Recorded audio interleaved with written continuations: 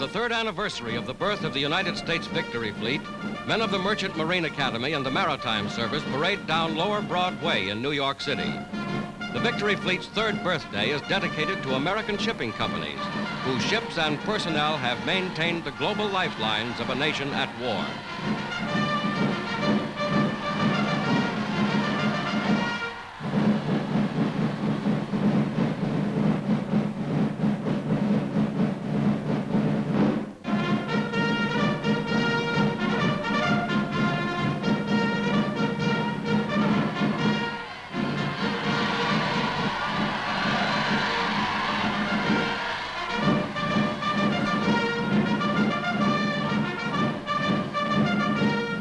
Reviewing stand are the Commandant of the Eastern Seaboard, the Commandant of the United States Coast Guard, and Vice Admiral Emory Land, War Shipping Administrator.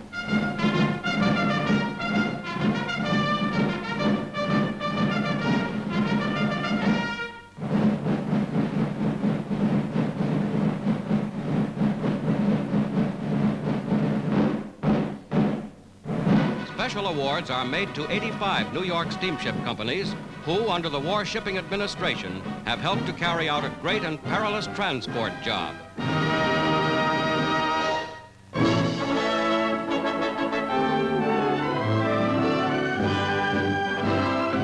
At Dumbarton Oaks, Washington, a Chinese delegation replaces Soviet Russia in conversations on post-war security. Dr. Wellington Koo, China's chairman, with Finance Minister Young and Secretary of State Cordell Hull. Britain's Halifax, Cadogan, and America's Stettinius. Dr. Koo expresses the spirit of the conferences. The establishment of an effective international peace organization is the united hope and aspiration of all the freedom-loving peoples who have been making such heroic sacrifices in life, blood, and toil. We owe it to them, as well as to humanity at large, to subordinate all other considerations to the achievement of our common object. Following six weeks of meetings by representatives of Britain, Russia, and the United States, the entrance of China's delegation brings the discussions into a second phase, laying a foundation for future talks among all the United Nations on organizing for security in a world at peace.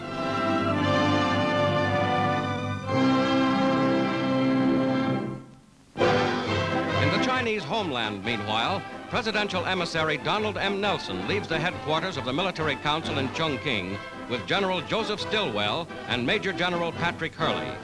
Stilwell, recently promoted to full four-star general's rank, conferred with Hurley, production expert Nelson, and Chinese leaders, including Chief of Staff General Ho Ying Chin.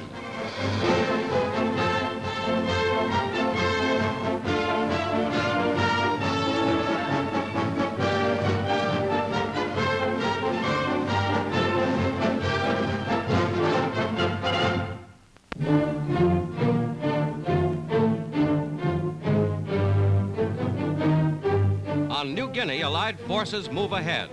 General MacArthur's infantry, knee-deep in the mud of the New Guinea jungle, move inland with their native guides toward Aitape, where 50,000 Japanese have been isolated.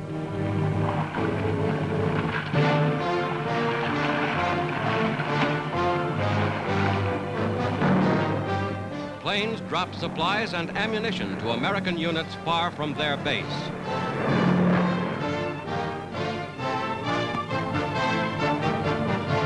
With a surprise amphibious attack on Sansapor, on the western end of Dutch New Guinea, American Sixth Army troops outflank the last enemy position there.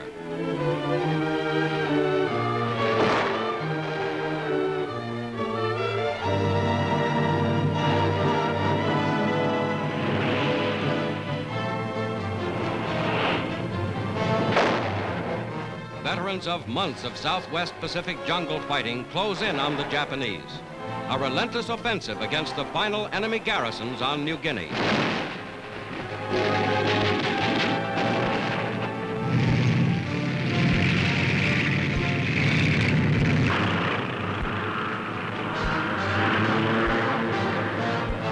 Now, far north of New Guinea, following successful occupation of Saipan, the target is the Palaus.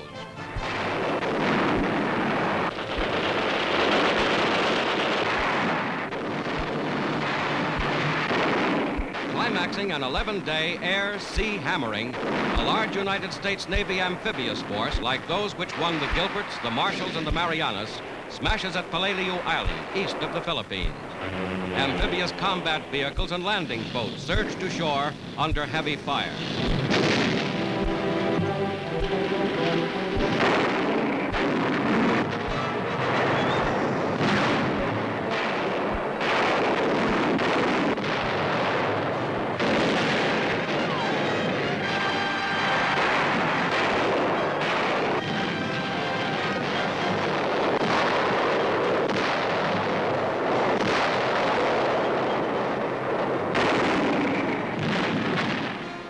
Ships discharge more mechanized equipment. Men of the 1st Marine Division go into action once again. The small rocky island of Peleliu, site of the finest airfield in the Palaus, is defended by 8,000 Japanese.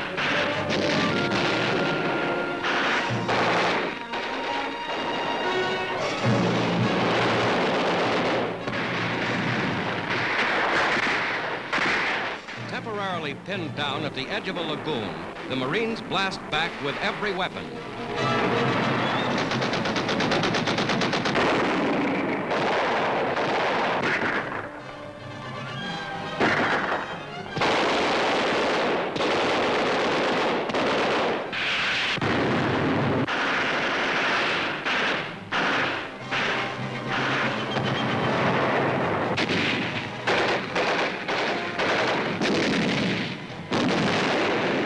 Up and on after the enemy.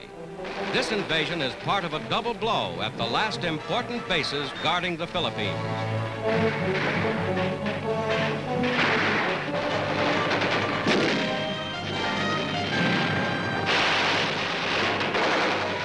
In fighting as severe as any in the Pacific so far, American casualties are many.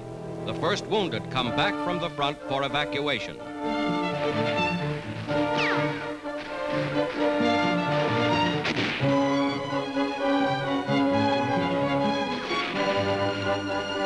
Under air protection, Marines take this valuable airstrip. In the smoldering wreckage of enemy equipment and in the 10,000 Japanese lives so far lost in the Palaus campaign is evidence of the strong determination to liberate the Philippines.